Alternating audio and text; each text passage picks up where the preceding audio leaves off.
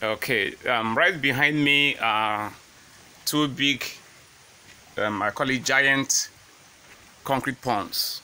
Right behind me, you can see two giant concrete ponds. And um, at the further part of that place, you can see the net and the net. You can see the water level.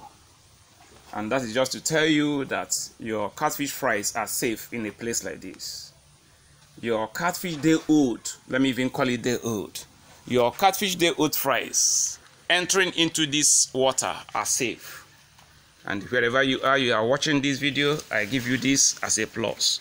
Because currently in this place are day old uh, fries. The fish hatched out yesterday. And today they are in this water. Um, all over the place the catfish fries have entered this water the next thing that will happen is the covering with um, uh, something like tarpaulin so that the water body will not uh, decay easily.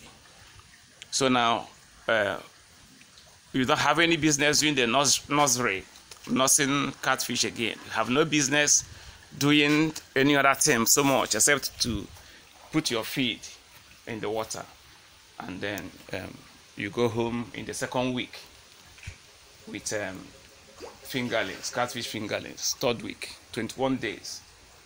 14 to 21 days, you harvest fingerlings out of the water because it's a very safe way to handle fries when you don't want to have issues in your hatchery.